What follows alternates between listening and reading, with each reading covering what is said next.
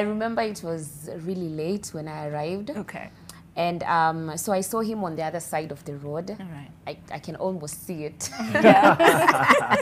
and then I'm walking towards him, and he starts saying that uh, the hotel rooms have not. Um, it's, it's like people haven't left, so like there's just a lot of people, and we had to share one room together. okay. So It's yeah, Like, oh, okay. and I was like, oh, thank goodness I'm in my jeans, so that's Yes. just how we're going to sleep. Yeah.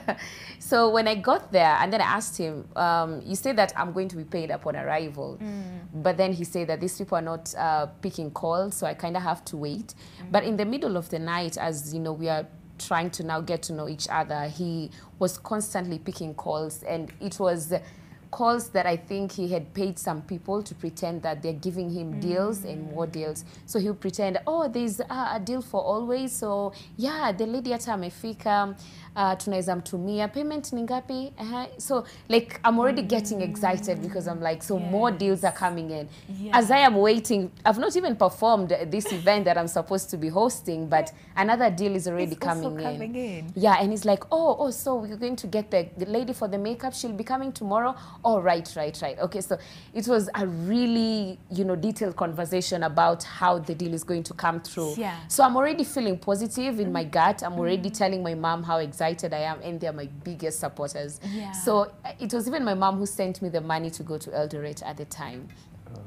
Because I'm Wow. 19, like usually fresh out of high school, so and then I, I get employed, so a lot is just happening all at the same time. Yeah. So when we stayed at the hotel room, that the first night he had actually paid for it, mm. but for the next day I had to do that, and it's money I didn't even have because I remember I had to take a loan so that I can pay for the hotel room because he kept saying that, hey, I'm in a really bad state, and then then he had a brother-in-law, a fake brother-in-law, who apparently was in prison, and it was a drug case. So that is why his accounts were frozen. Oh. So he couldn't access any money. So this whole time, um, you know, I'm a nice person, just like Rose, I would It's say. okay. Yeah. I'm okay. Don't you worry. I got this.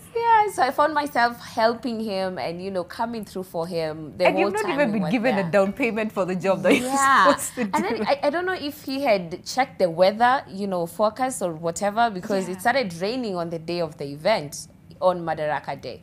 So that is how the event got cancelled. So I, I'm, I'm like, oh, oh, that's unfortunate. So they're not going to pay me. Then he's like, no, they will, but you know, we have to wait. But meanwhile, uh, there's this other deal, and we need to like, you know, get going Chase on it. it and see if we can, you know, get it as we wait for these other people to pay you.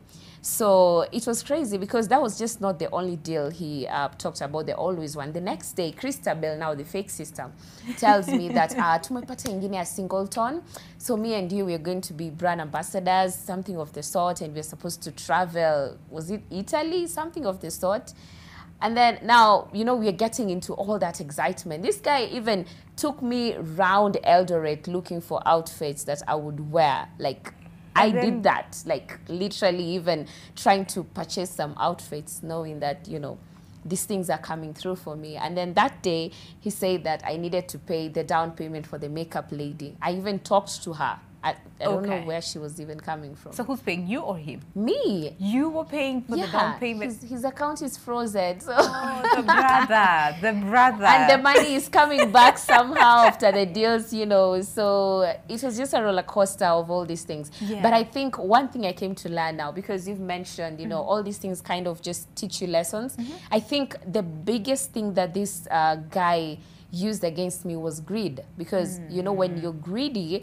When mm. you get into that situation, you're like, oh, oh, the money upon arrival, I'm going to get it. Mm. Then I remember um, during at that time when I was still traveling, they sent me another email saying that, oh, they've asked if you can host the after party for 30,000. So you're just getting all these things. All these things are coming in. And they're not even mm. stopping. So I'm excited. I'm talking to my mom. My friends are happy for me. You know, I talked to people, but this time they were very happy for me. They're like, oh my God, like go for we're it, so, girl. we're so happy that all this is happening. Can Yeah. we just take a break to, to just digest Digest. all this? Because it's a lot. It's a lot. And then when we come back, I think Bishop we'll just want to understand: Do this? Do they have a face? Like, do they have like characteristics that maybe we should probably know about because they seem so calculative. They actually know what they're supposed to do, and it's just too much. All right. So we'll also be looking at that in a moment.